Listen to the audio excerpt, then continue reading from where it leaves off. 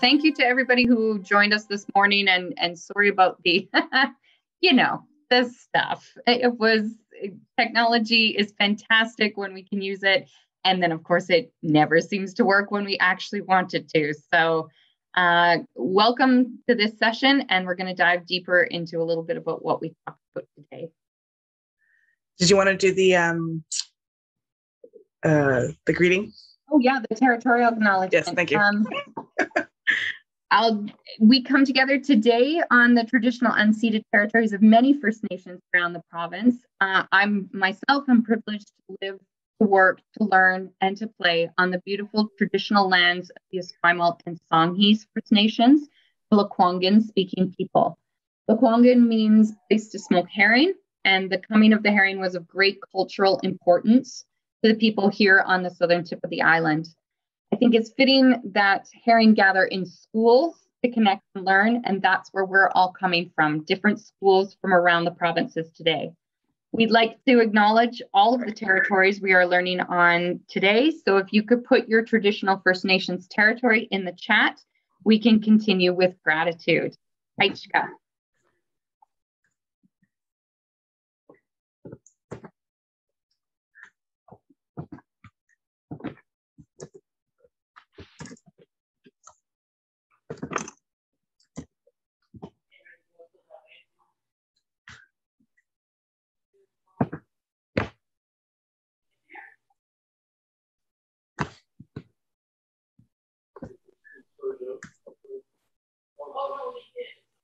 All right, Dev, take it away. Uh, so, uh, to parallel our keynote presentation, uh, we wanted to look at some of the things that we do in our library and how we can invite people in, um, students and staff, and the general school community, um, and make those connections and try and breathe a little life back into our library programs and our library learning commons. Uh, so, to start with, uh, we're looking at clubs. So, um, going into this in a little bit more detail.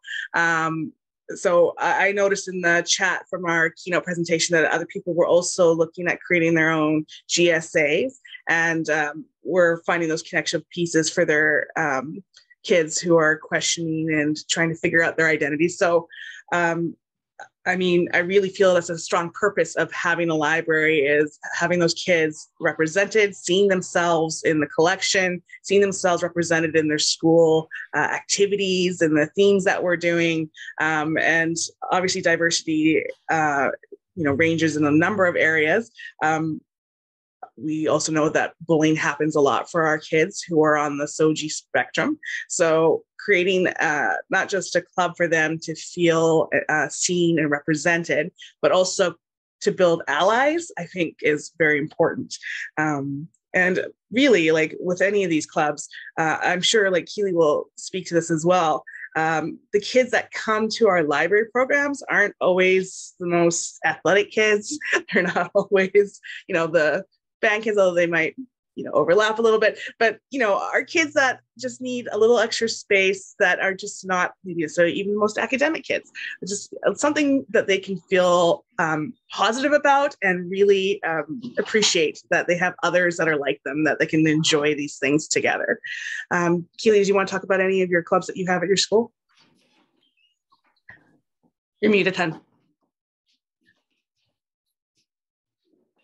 Uh, sorry. Um, if if you are unmuted right now, could you possibly mute just so that we're we're making sure that we've got um, just us.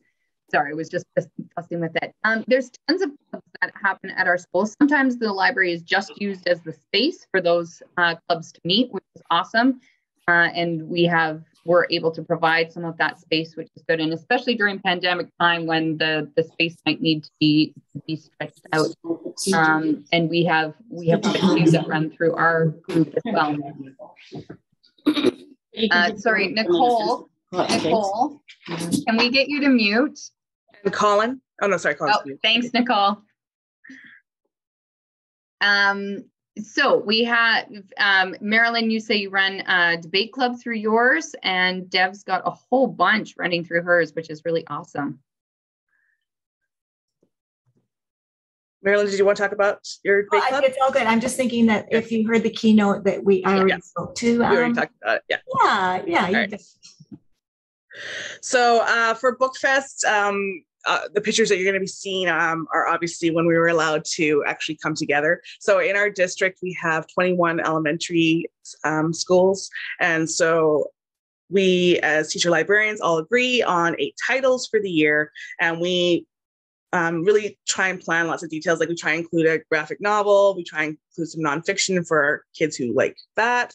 Um, we try and find a book that has a movie tie-in. So usually we would go to uh, a big like rent out the whole um, like several theaters and go see the movie all together as multiple schools. Um, and then of course at the actual event we have our costume contest here. Uh, you can see we have hundreds of kids who end up coming to this event when you look at all 21 of the elementary schools. And here they are. So um, normally we would do more Wheel of Fortune and um, Jeopardy style questions with the kids, and they would compete with another uh, school. And so this we're not really keeping track. We don't have like an ultimate winner like you might with Battle of the Books, but um, the kids, you know, take a little pride in maybe they beat one school in Jeopardy and then maybe in a different school at Wheel of Fortune, and they're like, oh yeah, or you know, they're like, oh, we were so close. So be like that little competitive spirit. uh, we also use the opportunity to bring in uh, guest authors. So one of our titles is usually a local BC author or illustrator, and um, they come and they share their passion with the kids, which is great. And it's really inspiring because so many kids end up wanting to write their own books. And um, I've actually started tying that in. So I actually have a, I've just created a poster this year for GEE Publishing. So that's Golden Ears Elementary Publishing. So the kids have to go through steps and if they go through these steps, then I will actually put their books in our library to be signed out by their classmates and the rest of the students at our school. And so having these authors and illustrators demonstrate to them how you go about getting a book done is really helpful. And uh, definitely, I'm getting a lot of Captain Underpants right now, inspired stuff right now because kids love that stuff. Uh, Reading Link Challenge was the program I was talking about that we have here in the Fraser Valley. So uh, it's collaboration between the public libraries, and they're they're the ones that actually kick off the event. And then um, public schools and private schools can actually sign up uh, to participate. So uh, they're very kind. They actually give us the resources. We're uh, gifted books, and um, we have competitions in school. So there's different groups. It's only for grade fours and fives for this particular program, and they compete against each other and then whoever is the ultimate winner from that one will then go against other schools in your city.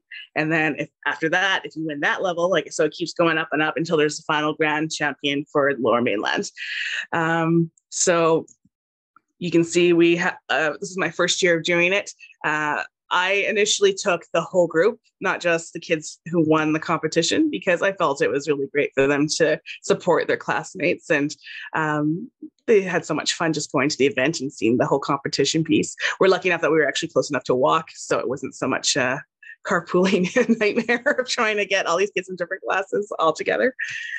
Um, but you can see our, our, library is beautiful and the kids are really appreciated the chance to go to a public library.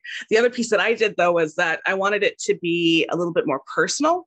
So I went to my principal and I asked very nicely if I could please have a TTOC release day, clearly before COVID, um, so that I could take these kids on a very special field trip connected to our um, uh, Reading Link Challenge books. So one of the books was about a local location. And so I took these kids to White Rock and uh, we went to Crescent Beach there and just had a fabulous day outside. So we did some nature walking.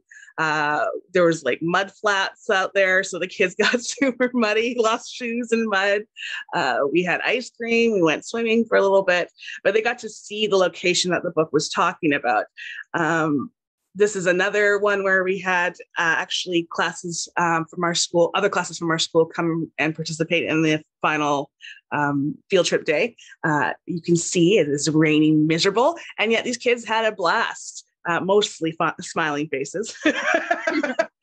but uh, we did scavenger hunts um, and just uh, had a hot dog roast and all kinds of other fun activities. And then this is another one I did where our book was about um, dogs that were up for adoption. And so I took the kids to the SPCA and they got to do a private tour and they really enjoyed being able to see uh, how these animals are taken care of and have a conversation around how to be better pet owners themselves so that uh, those poor animals that are neglected have better care.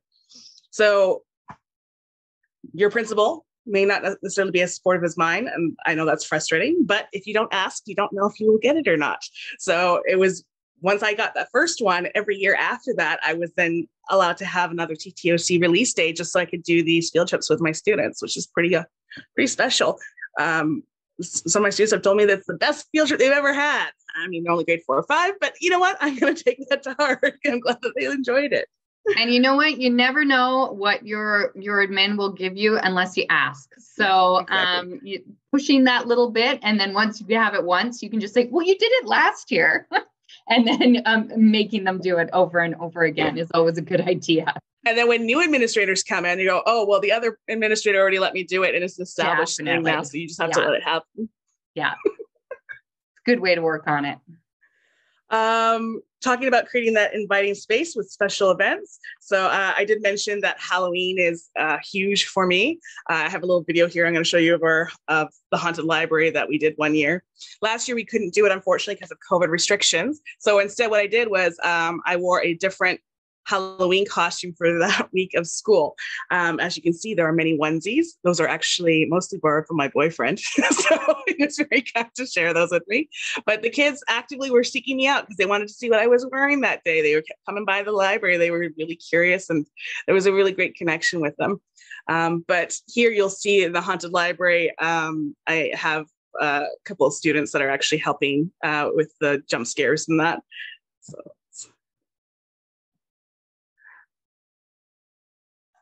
So yeah, it takes me. So I close uh, at the end of the day before our school Halloween day. Um, I take well when it was just me about five hours to decorate the library. Um, I've very wisely started including students to help me do this now. So it only takes about two or three hours. Um, music is key. That is the Sleepy Hollow soundtrack. it's very creepy, and the kids love it. Uh, for little kids who get really scared, I actually turn the lights on and I don't do the jump scare because we don't want to totally traumatize them so they never come back to the library ever again. so you can see uh, I've accumulated a lot of Halloween decorations over the years. Um, when you get known as a Halloween person, people also give you stuff. So that's pretty nice. Um, people will go on marketplace and go, "Oh, I found this whole bag of Halloween stuff for like ten bucks. Do you want me to get it for you?" And I'm like, "Yes, please." And I, I will use a little bit of my library funds for that because the kids love this. So what's ten dollars for all this joy? So there it is. So yeah, using technology. Uh, I've used projectors with little loops playing in the background. Um, because we do musicals at my school, we have a lot of black lights. So you'll see um, very shortly in the corner, I have it like all black lit and things glow in the dark and it's super creepy. So use the talents that you have around you. My boyfriend did this painting for me on um, the sheet. So it's not necessarily just you. I'm sure you'll find someone else who's super passionate about it and also wanting to do their own Halloween.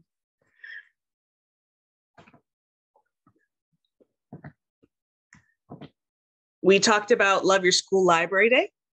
Uh, so um, we try to do it on February 14th, but of course, sometimes it falls on the weekend, so it might be a different day. Uh, I do poster contests. Um, my students come in and they um, have to show their love of either reading or their favorite author or their favorite book or series, um, maybe their favorite teacher librarian, wink, wink.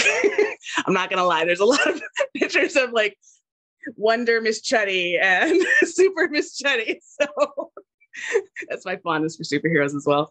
Um, and so they put uh, they bring their posters in and I display them all over the library and they're up for like the rest of the year because the mo- the messages in them are so lovely. Um, and I have prizes for uh, three prizes for the primaries and three for the intermediates normally. At last year because it was covid and we weren't doing so much i actually did more and they get free books brand new books of their choice. And so it's very exciting for all those kids and i bring in guest judges so that i'm not the only one biased towards Miss Super Miss Chudy poster winners. Uh, this poster here, I just love this message that this, uh, these students wrote. So it says, remember, there are many kinds of books out there and many kinds you will like to try, different series. If you don't like one series, it doesn't mean all books are bad. I like chapter books. You may like picture books. It doesn't matter what kind of book you like. It just matters that you love your library. And that was written by Megan and Alexandra in grade four. And I mean, what a great message and, and what a great way to connect to your library. And I didn't write this for them. They just came up with this on their own. And it's just so fantastic to see them make that connection between our library and our reading and the collections we have and the activities that we do. Uh, we've talked about free books in the other session. Um, one thing I didn't uh, mention is that there's actually a great agency called First Books Canada, and it's meant for lower income families. However, I've been told by a representative of First Books Canada that you don't actually have to be from lower income families. Um, they basically just want to give good deals to school libraries. So you can purchase books through them at very low cost. And we're talking really quality, like current high in demand books. Um, but they also give out grants. So if you're genuinely um, a lower income community, we actually received uh, a thousand dollar grant for books. So what we did is we didn't want to isolate the kids and point out that they were from a lower income families. So we did a um, draw and I was just pulling winners from all the classes in the school. And so I had the teachers nominate any students that they um, felt might be financially uh, restrained.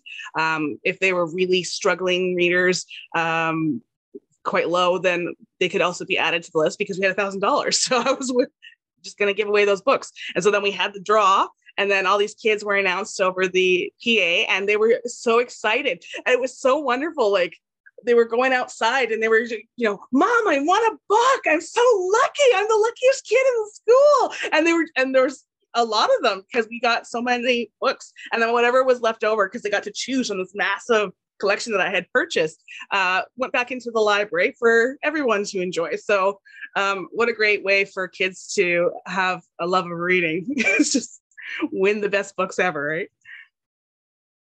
Uh, we talked about representation and displays.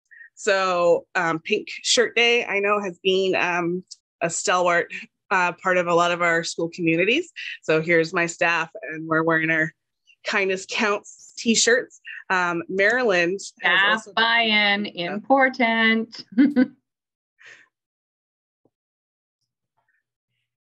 We're lucky enough to be able to have uh, two display cases that are at the top of a junction of staircase and hallways. So, um, by hum and by gosh, people pass by this area um, just about daily and, and sometimes um, a couple of times during the day. So, in order to be able to showcase all of those um, important days, and of course, all of the resources that, uh, especially the new ones um, with students and staff, I have the opportunity to be able to do that you know, sometimes you just need that therapy of doing something else that is creative, allows you to be able to talk with people as they go by. Um, that's kind of a, a, niche I enjoy. We had Jesse Thistle um, uh, zoom in with our local um, college and um, our class of English 11 students. That was fabulous. And so we were showcasing them both in the classroom as well as um, in the hallways as well. If you want a great author to be able to um, uh, do from the ashes at the secondary level. Fabulous. And then you also have here Red Dress Day. Yeah, and uh, we all know how important our Indigenous connections are. And we have a fabulous support worker within our school that helps me to be able to continue the work that she's doing as well. And um, so, showcasing those inside the library, um, obviously, one of the things we like to carry on with. And thank you, Rebecca Rubio. I'm not sure if you're in this group, but um, she put out on her Twitter handle last year uh, an amazing collection of books. I went out and bought them all and um, uh, made sure that the English 10 group that uh, have used that as a thematic uh, area uh, were able to showcase all of those items. And then kids have a chance to be able to dive into that theme. So this is also a little bit of a plug for uh, how great the BCTLA is because um, those lists have also been posted on um, the website and being sent to people. And we've done also some webinars. So we um, had Asian Heritage Month, and um, the people that came together again made a great list of recommendations, both elementary and secondary, as to what you might need because I know that uh, for me, uh, we were missing quite a bit of pieces in um, this representation. Uh, I have a lot of uh, Vietnamese, well, not a lot, sorry, people were just predominantly Caucasian, but the um, ethnic diversity that we have there are actually predominantly Vietnamese, Filipino, and Korean kids.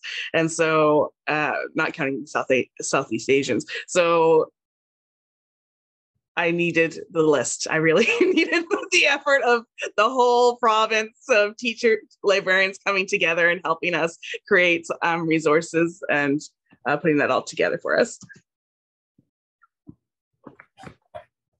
This is you, Marilyn. Absolutely. And remember to go to that B, the BCTLA website to check out um, those lists because Devika runs the website and she's posted them up there. And don't forget to take part in those uh, free webinars that happen because we create those collated lists together as a team across the province. And of course, you may be much more familiar with something that is out there that uh, we aren't as a, um, a group. And by us adding that collaborative effort together makes it so much uh, easier for everyone to be able to uh, make sure it happens. So, of course, the thing that we need to concern ourselves with is the ability to um, collaborate with staff. And it's one of the hardest things when you're first beginning as a TL to sort of figure out, you know, what's the easiest way to do this. And I've was really serious when I said there are times when, you know, I am walking down the hallway and teachers are kind of uh, poking at me or just yelling saying, "Hey, you know, this is what I want to do. What what do you think about that idea?" And um, I go back to the library, and at that point, I actually go ahead and I start thinking about how I'm going to develop that. So thanks, Devika. I have a planning guide that I have um, on my desktop that I automatically open up. Um, oh, sorry wanted to interject these are available to you guys who signed up for the session so um, there's there when the website actually works the conference website actually works. Uh, there are links here for her templates and some examples that marilyn's going to be speaking to. Yeah and the big thing i, I guess i want to be able to um, and reassure everyone with is that start small. Start, as um, Keely had indicated, with maybe one or two teachers to begin with. And then that way it's going to be way easier. And then once the buy in happens with one or two, you know, they'll quickly spread that news. Hey, listen, if you go down and see uh, your TL, they're going to help you with this piece. So if you can just go back for the slide for just a sec. Um, the one thing that um, I find this is helpful with is being able to sit down and provide background information right Sorry. I used to be able to go back and now it's not going back anymore. That's okay. Um, and so having that document. Now, some people like boxes and they like spreadsheets and all that kind of stuff. I've kind of narrowed it down to this is what works for me. But that could change for you depending upon um, how you uh, work and how you navigate your own um, organizational tools. So, but there are key pieces, especially in a secondary school with um, over 800 students and multiple faculties and um, units happening uh, on a daily and weekly basis that um, i need to track them and i need to be able to understand you know where the teacher is coming from how many kids they have do they have eas all of those kinds of things. And you know is there an indigenous connection that i need to be able to um, link to can I get my support worker on board to be able to help us um, navigate this particular unit? So I kind of take this sheet and I fill it in and I put it often on a Google Doc um, or whichever way is most comfortable for the teacher. Some are still paper driven and like me to be able to print that off and say, hey, take a look at this. Um, and is there anything that you would change or whatever? I'm not heartbroken by any of the suggestions they make because I may have taken them off on a completely different um, track than they may have wanted to go to in the original um, direction that they were choosing. So great, thanks. Next slide. Um, and then as part of this, it's it's all the booking that kind of needs to happen in to coordinate when um, inquiry classes can come down, uh, who's going to uh, navigate which part of the teaching load, um, and how is it going to be split? What's the assessment look like in the end? And and often those are kinds of things like oh i forgot to talk to the teacher about that. At least having this um, quick note taking document allows you to be able to make that happen. So next slide um, Devika. Um, in that process, here's one. Brandy, are you in this session? um, I've used you as, as an example. Um, Brandy said, Hey, you know, our capstone kids are doing something um, and they need to be able to sort of figure out what that looks like. So we sort of got together um, to create um, an opportunity for them to realize that they have to actually ground their uh, capstone project in some sort of research and to be able to have um, the supporting information before they finish their actual project. And it should be a culmination and a review of all of the skills in their toolkit that they've learned over the past 12 years. Um, some of them forget some of that. Um, this allows us to be able to go back and visit it. Um, and so part of this process was, you'll notice it was on the 22nd. Um, did we need any EA assistance with some of them who um, might have been um, a bit more challenged in their navigation? What part was I going to take care of and what part was the teacher going to take care of? So I'd love to get back with um, Brandy right now and sort of say, okay, did we meet our initial um, objectives? Is there uh, a piece going forward that we need to address? Um, so next slide.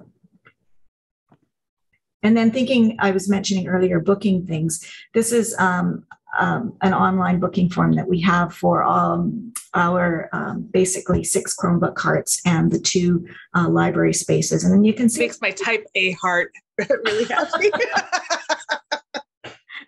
it's it's a way for us to sort of maintain some sort of um, organization in the bigger picture especially um, as you know when we're working with devices you know they're not plugged in at night or they're um, five of them are on the top because they no longer have any memory left. You know there's lots of those kinds of issues that we can address um, holistically within a, a, chart like this. And then of course when we do the booking and the coordination with the, the template the planning form then i'm able to say oh, you've got this in A block, you know, the library isn't available during this time, but hey, would a Chromebook cart work instead? So we can sit down and have those conversations uh, easily enough and then make sure that all students in the range of um, capabilities are addressed. Next one, Devika. Um, so in that whole process and that template, I take a look at, you know, is this, is this going to be a backwards design? What do you want the kids um, at the end to have um, in their toolkit and how are we going to work backwards to make that actually happen. Um, some, especially um, now with our inquiry projects taking a lot more fluid form, um, teachers are saying, okay, here's the theme. How are we going to make this unfold? And then the kids are responsible for the decision making piece. So that opens up a whole other um, uh, organizational model that both the, the teacher, the instructor, and I have to uh, facilitate in the way that makes the most sense. So the whole idea of collaborating with your staff, connecting with them, allows us to be able to make uh, decisions that makes it easier for them to go forward and for students obviously to feel comfortable with um, the projects that they're taking on and um, seeing them through to their fruition so next slide okay keep going. Yeah. Um, and this is just a, a, tip. So we had a Chromebook cart that uh, iPad cart that uh, we wanted to change into a Chromebook cart, but we still had the iPods that were usable. So I went and bought six wash buckets, wash basins, and those are um, cookie holder uh, handles at the dollar store and then put all the iPads in with a, a charging station um, for them. And put them in the back of classrooms. And then they were able to use them either in um, their table formats or um, go and get something else that would be more workable for them. But that's just a tip that can work um, if you need to sort of get um, technology out into your classroom. Next um, one.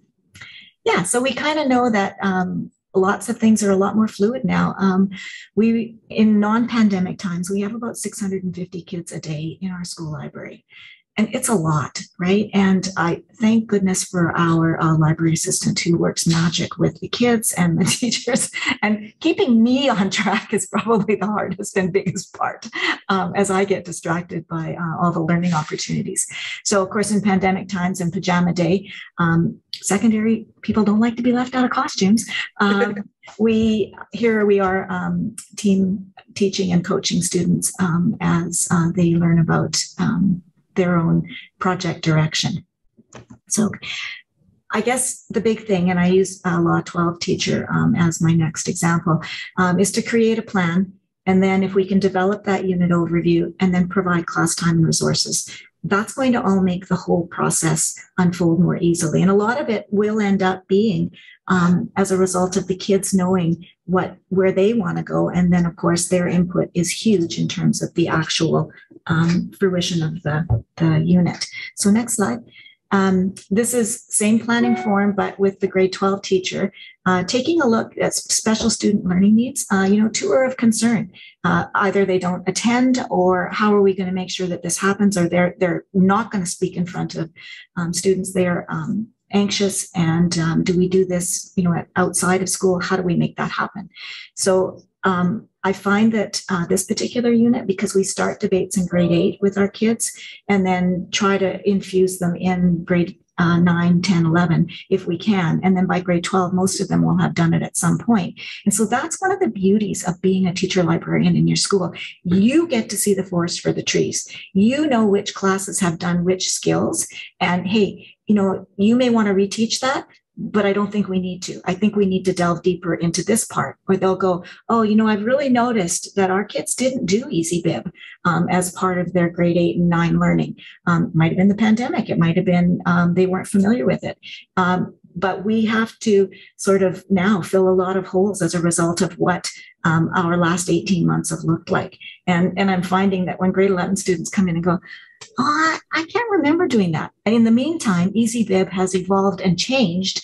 And so we're adding new parts to it. We're taking away things that were, you know, stopping points before, teaching them how to export those files. Lots of learning is happening through um, the meaningful unit of our Law 12. Um, I just want to say that we have a 10 minute warning before the session needs to end. Perfect. I'm almost done. Okay, awesome. Devika, you took my 14 minutes. Sorry. okay, so just in that process, um, planning ahead, giving some timelines for what we're going to do each day. And as I said before, you know, if you have a chance to be able to work with your teachers and let them know that you'll help in the assessment, they're in. You're sharing the load, taking them out of their silo, connecting with them. All of those things make um, a much more um, cohesive opportunity for you to work together. Next slide. Yeah, so some of the um, topics can be for those um, kids who have more um, difficulty and challenges. They might be a little bit um, simpler in their um, orientation as a, a Law 12 topic. They might be a little bit more sophisticated as well for those kids who need to be challenged. And um, these are some that are taken from the Law Foundation Cup um, over the years. And so kids get a good um, opportunity to challenge themselves, um, meet with lawyers in the community, do what they need to do to go to the justice site, to involve the Martin's Criminal Code, all of those things in the development of their um, final debate. Okay. Yeah, so I guess in sort of summary, there's lots of things that um, provide for richness within the final product. Being able to share the workload, huge. You know, there are times when, hey, I have to zip away. I I I, I need to see the principal with this. I'm team teaching with you, but this student in our class is doing this, and so hey, we can work together to make this happen. Um, we can provide a little bit more diversity because I know the collection, I know the kinds of resources that we can bring in. What does National Film Board have that is new and interesting? How can we add those wonderful films to our um, um, our unit. What is it on EBSCO or our BC Digital Classroom that the kids should be aware of so that when they go to post secondary, those aren't scary places to be able to go into and to work with. Um, what it really does is it engages both uh, students and ourselves in the end process. And like the phoenix, we get to rise to the occasion. Woo! That is true. Um, so, one of the other ways of connecting and what we needed to do this year with our Battle of the Books, um, we have a middle school Battle of the Books that we do uh, here in Victoria and we have 10 middle schools. Eight usually participate and usually uh, we go to one particular school. It's a trivia bowl so there are six novels chosen by us uh, teacher librarians who are involved in the different schools. We choose novels. Uh, kids need to read them over the course of a couple of months. This is an extracurricular club that we usually run. And then on one specific day we all go to one school and we have like buzzer boards and an actual trivia bowl that um, you know round robins everybody competes against the other schools um, semifinals and finals all in one day. And we usually provide pizza and things like that for the kids as well. And it's an excellent opportunity, as as Dev said. A lot of these kids are not necessarily the competitive types. Uh, some of them have not really even been on field trips within the school besides with their class. So getting to do this opportunity to go and see other book nerds and to understand that there are other people who genuinely love books. They all want to talk about books. They know all the trivia about books that are also in other schools is really, really key um, to making a great connection. This year, because of the pandemic, we were not allowed to gather together. So we were in a little bit of a panic as to how we were going to do this because we did not. I had a kid show up on that first day of school in September of 2020 in a total panic because it was his grade eight year. This was his last year to do Battle of the Books, and he was devastated that we weren't going to be able to do it. And I said, I will make this work for you. We'll figure this out. So uh, we ended up using uh, Kahoot, and some of you will know Kahoot. This is um, this is where you call your secondary device. Yes. Uh, so this is the program here. Um, Kahoot is free, but you can uh, actually have your school pay for an account if you want to do things within the school. And weeks ago, I ran a whole school Kahoot. Uh, Welcome back, Monterey. You can see it there, uh, and it was so much fun. Each of the classes had a had one device, uh, and they logged in as the class. Now, of course, it's middle school, and my kids don't listen to instructions. And so immediately a whole bunch of other devices came out and people started popping in very inappropriate names, similar to the Zoom bomb this morning. Uh, and so you need to really be on the ball with this. Um, so we're going to actually play one of these just to show you how it goes. So you have a device uh, close by, open up a, uh, a web browser. And if you put in kahoot.it, kahoot.it. Uh, and in this case, we're going to teach it because we want to happen it all at once. You can actually assign this to teachers and have, so if you don't all want to do it right at the exact same time, you can have it throughout the day and then have the results uh, posted afterwards. But we're going to teach it. And this should pop up pretty quick here. Classic player to player as well. Um, just a, a little note Show question and answers on players' devices is a great one to turn on. That way, if they're um, not able to see what I'm screen sharing, they're able to still get all of the questions sent to their devices. So if you go into um, kahoot.it, it will ask you to put in this PIN number, 1253211, and you're welcome to just put um, a, a, name or something. And this where at you as teacher need to stay on these really quick because of course in middle school we had most who you know they, they love the body stuff. So we pop um, they would pop up and immediately i'd kick them out which i have the ability to do. So i can always go over top of of somebody and kick them out of the game if it's not going to work.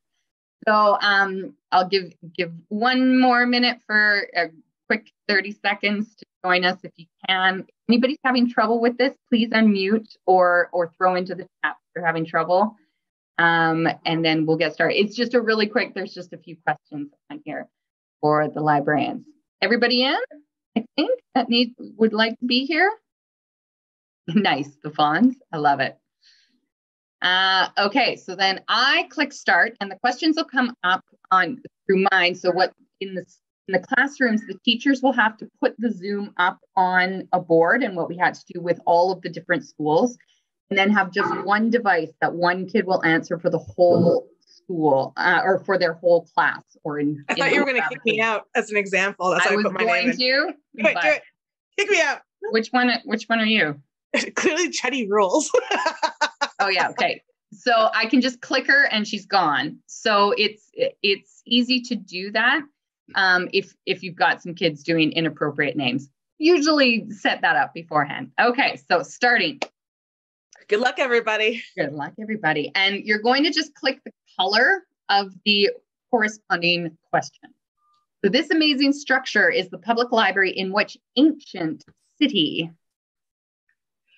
And by all means, feel free to unmute yourself and talk smack to the other contestants because this fun. We're only here for a couple more minutes. I do not recommend doing that with children, though. No, don't do that.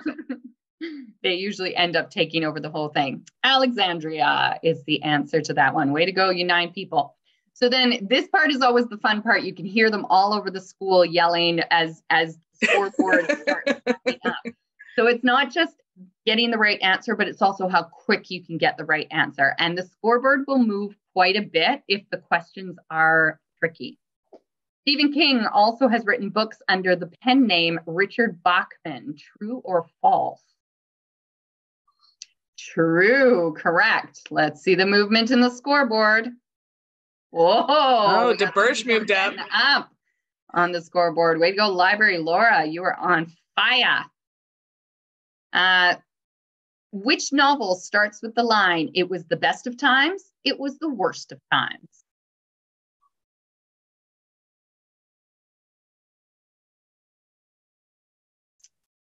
Absolutely. Tale of Two Cities. Now, I usually put um, a, a, timer on just to see. Oh, the Fonz making a giant move.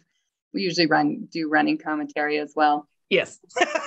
It's half the fun of being uh, Question four The librarian at Hogwarts is named. Keely will be personally offended if you get this wrong. Uh, so there is a timer on the left, um, but if it that is usually set about 20 seconds, but if everybody answers, it'll go a little faster than that. Madam Pince, you are correct. Madam Pince. Oh, some movement oh, on the oh, board. Moving, moving. Good job. I'm holding on though by their nails. True or false? You can find a book about how to take care of your cat in the 590 zoological science section of Dewey in your library.